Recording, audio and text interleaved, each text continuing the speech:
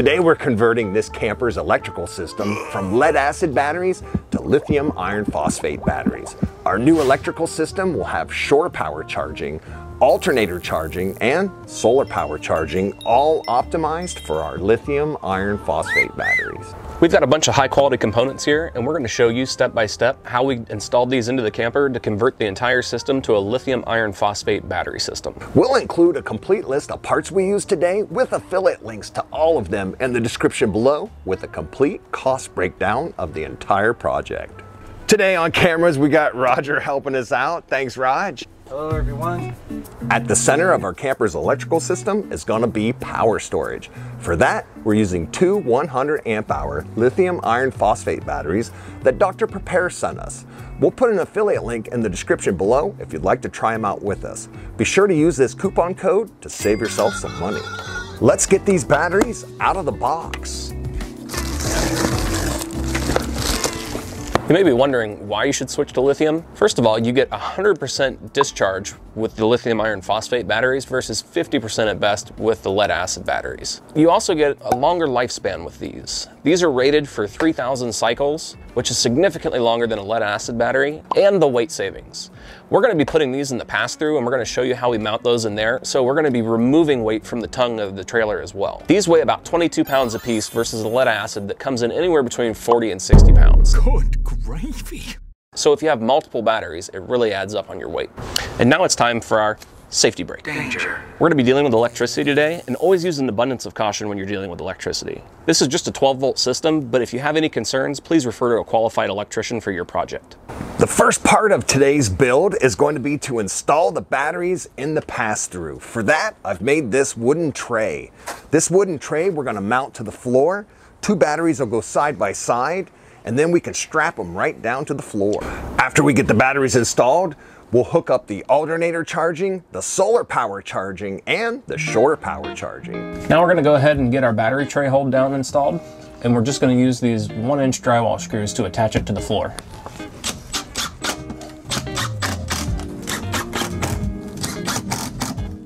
So I made this tray so it'll hold two batteries. These are pretty light, really. And then I'm going to use some of the packing foam as a little buffer in between.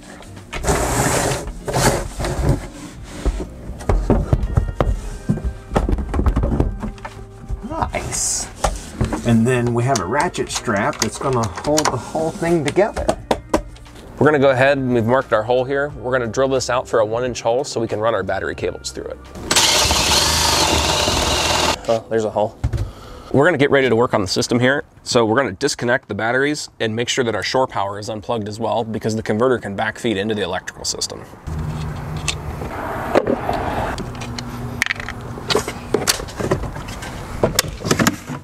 So now we're just confirming pin outs for the trailer pen cable. And this is gonna be our alternator feed coming from our tow vehicle. And we're making sure that we have the correct wire in this box. And we've confirmed that this is the wire we need. We're gonna run this into our Renogy DC to DC charge regulator because it has an alternator input. We've got our positive and negative feeds coming through our hole. And Fred Jr.'s down there. He's getting ready to hook them up underneath. We're gonna use the same spot that the original batteries were hooked up to, so we don't have to redo a bunch of wiring. But our positive is gonna jump on here, just like it did with the factory battery. So it retains everything else that we need it to. And we've also got our new ground wire that we have self-tapped over here, And it's going right to the right frame. to the frame. And that is hot on there. And that's our new positive and negative connections. And that's our alternator line that we have running up there. These are the only three connections that we actually had to make into the camper to run our new lithium iron phosphate batteries. And then to go up through the camper, We just made a small hole in here and we'll fill that in just like they did with this with some expandifoam to seal it up and that'll take care of that. So for wiring our control panel and wiring into the camper, we use this number four gauge welding cable, which is a fairly high quality cable. It's all copper and it's easy flex too. So we ran 10 gauge for our inputs for the Renogy unit. It's a 10 gauge wire from the alternator that we have on here. And we've also ran 10 gauge for the solar input plug.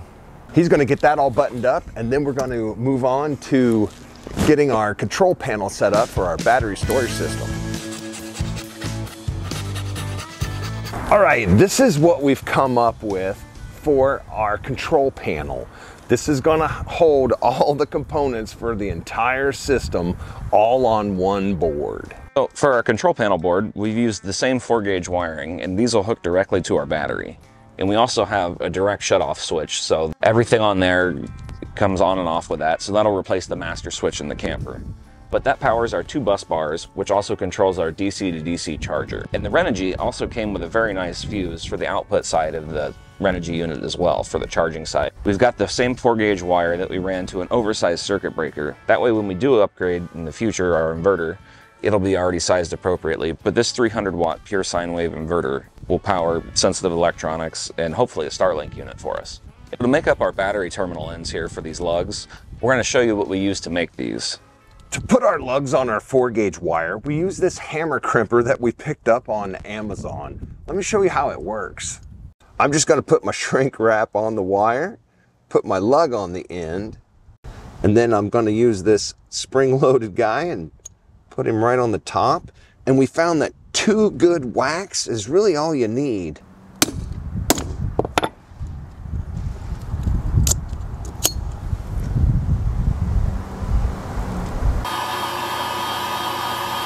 So this is how we put all the ends on our four gauge wire for this whole system. So here's a close up of our entire control panel. Go ahead and hit pause if you need to, to see exactly where we put all the wires. Let's get this control panel hooked up in the pass-through.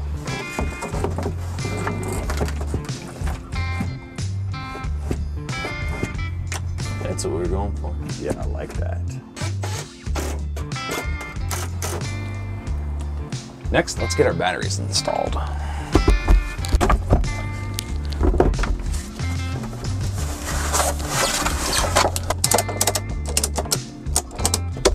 Those ain't going nowhere. All right, so now we're gonna go ahead and get our batteries all wired up here.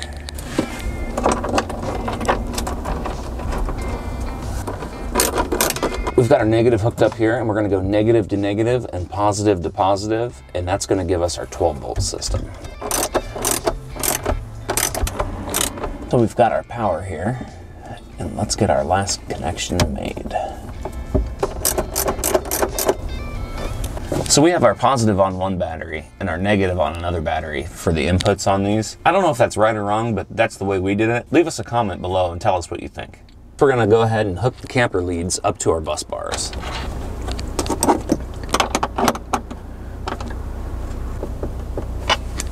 Got our two connections made to the camper, but also when you're doing this, make sure that you've got your master power off. That way nothing arcs. Alternator charging. So that's our next step on here, and we have our alternator wire. We're just gonna kind of snake it up through here a little bit. And I love that they give you the oversized terminals on this Renogy unit too. Now we're gonna go ahead and hook up the wire for our solar charging. And this just goes to the Furrion 2 pin that's outside of the camper. We're gonna put our negative terminal on here for our solar panel, and it's just gonna go to our bus bar. That's all snugged down. And for shore power charging, we have this unit from RecPro. It has the higher voltage, so it'll work with the lithium batteries versus the one that comes in the camper for the lead acid, because the lithium batteries require a higher float voltage. Let's get this thing installed.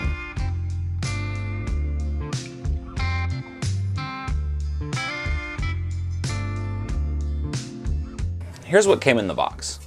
It's a little bit bigger than the factory one, but the footprint is the same size, so it should just slide right in here, and it looks like it's a nice laid out unit from RecPro. So let's go ahead and get the old one out of here.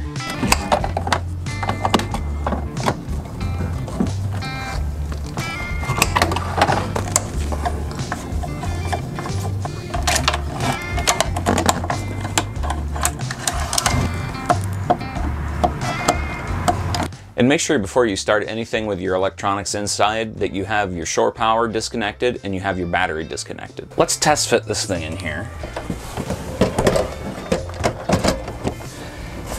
It is so close. So rather than cut the tabs off of a brand new unit, we're gonna cut two relief slots in the back of this plastic. Now the fun begins.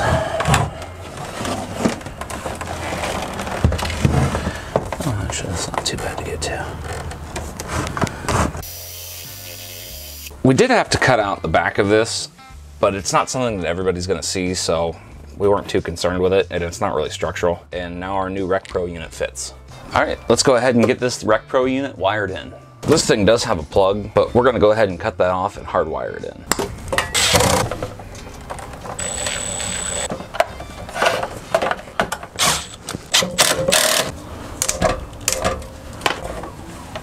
Now we're gonna go ahead and get our AC power hooked up to this. We're gonna tie our ground in. Let's go ahead and get our common tied in. And now let's get our breakers wired back in.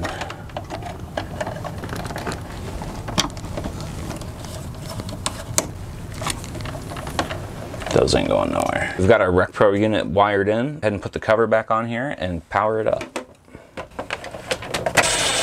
We've got all of our wiring secured and cleaned up. Let's turn the system on and see what happens. Just kidding. Let's head and go inside the camper and make sure that the power is getting in there and everything works. Let's test the slide out. Looks like we got power. Now that we have our shore power hooked up, let's go ahead and test our Rec Pro unit. So it's putting out about 17 amps. This is a four stage charger, so that should be about right. The shore power charging is all hooked up and working. Let's test the alternator charging. To test the alternator charging, we've hooked up a truck. Let's see if it's working. So the red indicator light indicates that the vehicle is charging the system. Looks like we're charging right around six amps. To test the solar charging, I've got the 100 watt suitcase panel deployed. Let's see if we've got a red light. All right, that red light in there means that the solar charging is now working. For $16, we added this little battery monitor. This little guy's pretty cool. It shows state of charge, our voltage, and it even has a little thermometer. We're gonna run some wires and fish this up into the camper eventually, but we wanted to show you. Let's go over the cost breakdown for this project. For power storage, we have two 100 amp hour lithium iron phosphate batteries. At the time of making this video, you can buy those for $205 a piece on Amazon. Then we have our Renogy 50 amp MPPT power controller, $270. Our Rec Pro converter charger cost us $125, and our number four welding cable came out to $73 for 25 feet.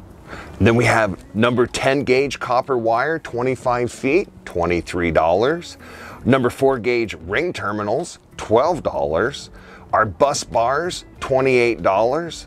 Shut off switch, 13 and our 40 amp breaker came in at $16. Total cost for the project, $970.